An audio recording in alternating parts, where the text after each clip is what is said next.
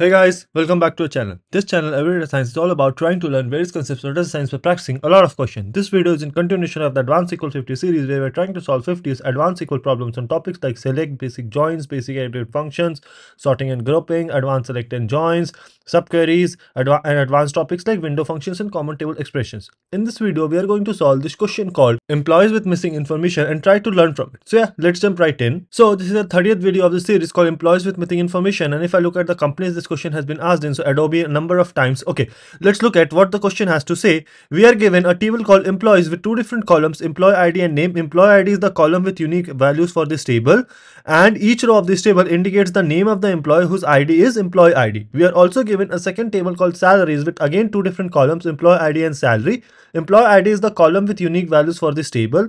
Each row of this table indicates the salary of the employee whose ID is employee ID. Okay, we are asked to write a solution to report the IDs of all employees with missing information. The information of an employee is missing if the employee's name is missing or the employee's salary is missing.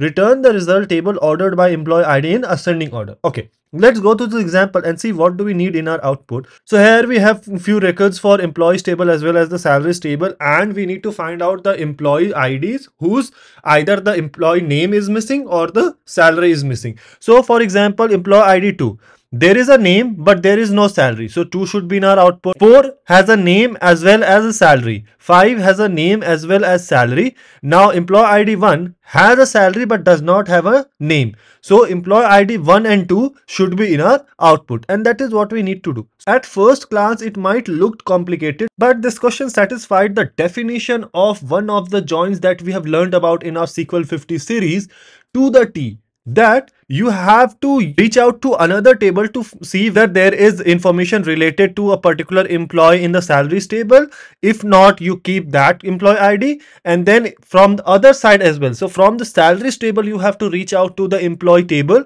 and try to see whether the person has a name or not. So you say what does this define? This defines the full outer join. Since in mysql you cannot do a full outer join just by using the keyword full outer join. So you can emulate it using first doing a left join then using a right join for now let's forget about right join let's see okay if i need to find out from this employees table what all employees do not have salaries. So how will you do that? So i can go ahead and do from this table called employees aliased as e if i go ahead and do left join the salaries table aliased as s and join on e dot employee id is equal to s dot employee id okay and then let me go ahead and return all columns. Okay let me now go ahead and run this and let's see which all employees in the employees table do not have a salary associated with them. Okay let me just drag it above and let's see what do we have in our output. So here just as we discussed right employee id 2 has a name but does not have any salary associated with the person right? So to get this person what i can do is where both the columns coming from the salaries table any one of them should be null. That means that the person does not have a salary. So if I go ahead and write, because in this, I am only concerned about employees who does not have a salary. S dot employee ID is null or salary is null, whatever. So let me just do S dot salary is null. Okay. Now if I go ahead and run this, it will only keep the first row. So this is the person who has a name but does not have a salary. Okay. Now if I need to do the same thing, but if for all the employees who have a salary, I need to find out whether they have the name or not. So what I can do is, let me just copy this exact same thing, right? Let me just remove the semicolon, exact same thing. However, what I need to do is, in this case, either you can change this to right join. What is a right join? So if I just do right join, right? If I just here replace left with right, this thing, this entire thing is equivalent to writing this. Let me just copy this again and paste. I'm just, you know, trying to demonstrate. So this right join, this, this part is actually equal to this thing. What is basically happening is from salaries, I now, now want to reach out to employees table to get whether employee ID and name is null or not. So you see that is what. So either you can use this or you can use this does not matter. But since we are trying to do a full outer join in that the definition is have a left join as well as a right join so i will go ahead with the upper part right? But just wanted to show you that whether like you know how can you have the alternative approach as well. So right join this right? So from this employees right join so basically from salaries try to reach out to the employees table. And in this particular case what will be the null part? The employee id or the name coming from the employees table. So where e dot name is null e dot name is null or let me go ahead and let me so this is what we just achieved right? Let me just remove this part. Let me run this now. Let's see what do we have in our output. Okay let me just drag it above. So here if you can see this is a person employee id 1 who has a salary who has a salary but has no name. So you see this is why I took e dot name is in is null. Okay, let me just put it back here.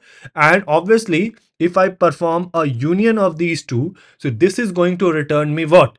A person who has a name but does not have a salary and a person who has a salary but does not have a name. Okay, now if I go ahead and look at my output, so this is one. So employee ID 2 has a name but does not have a salary. Employee ID 1 who has a salary but does not have a name. Now in our output, we need to return the employee IDs. So you see now here you might be thinking which column should I return? Should I return employee ID from the employee because these two columns are coming from employee and these two columns are coming from the salaries table. So employee ID from this or employee ID from this. But if you if you think about returning employee ID from this employee ID column, so here you can get two, but here you will be having null. But in employee ID coming from the salaries, here you will be having null, but here you can get the 1. So can you think about it like what's the problem that we are facing and how can you resolve this? Yes, we discussed about it. There is a function called coalesce, right? So it, it what does it return? It returns the first non-null value. So if you coalesce employee ID and employee ID, both these columns, the first non-null value is 2. So it will return 2 in this case.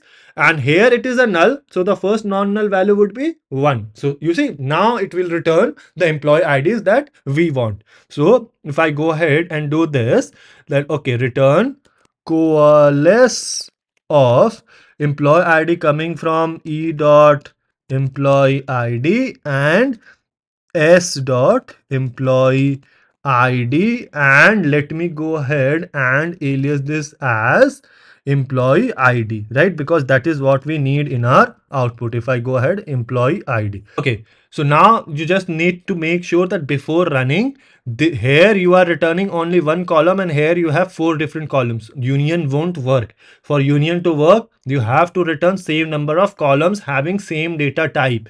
Remember so here what you need to do is copy this entire thing paste it entire thing here and then what you can do is simply go ahead and run this. Let's see what do we get in our output. Okay let me just drag it above.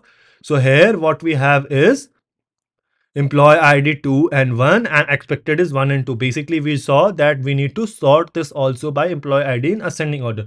So at the end what we can do is we can simply go ahead and write order by employee id okay then you might be thinking won't execute first and then there is a union. So how is this order by working? So actually you if you think about it we have discussed the order of operations. Order always works after select right? So what will happen is from this table it will perform a join and then there is a filtering and then there is a select. So this will work. Then again from this this where select this entire thing then there is going to be a union and then after the union is performed order by the employee id so you see that is how it is going to run and that is how it is able to sort this. So if i go ahead and run this now let's see what do we get in our output. So yeah this is accepted. Our output is same as expected output. Let me go ahead and submit it to pass all the test cases. So yeah, this is accepted and this is how to do it Not a very difficult question, but we have to just employ our understanding of full outer join. And since we cannot do full outer joins directly, what we did was we basically broke that into two halves. Firstly, we performed a left join so that we can get employees who do not have salaries. And then we performed a right join to see employees who have salaries but do not have a name union the two things together and then we return the employee id but by using a coalesce to return the first non-null employee id so yeah this is how we do it. Let me know if there is a better way or more efficient way to solve this question. Let the solution be in the comment section below and i'll see you guys in the next video